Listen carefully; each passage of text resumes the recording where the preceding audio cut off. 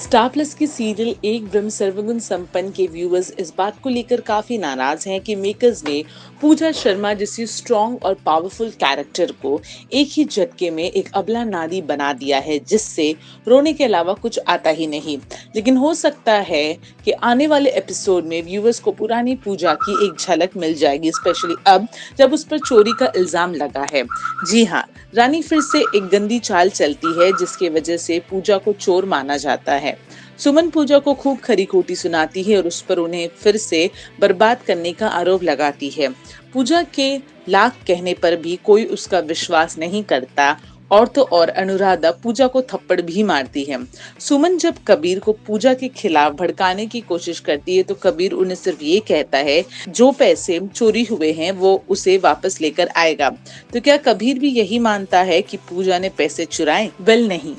कबीर पूजा से जब मिलता है तो उसके आँसू पोच कर उसे कहता है कि वो पूजा पर ट्रस्ट करता है, चाहे कुछ भी कहे लोग ये सुनकर पूजा चौक जाती है।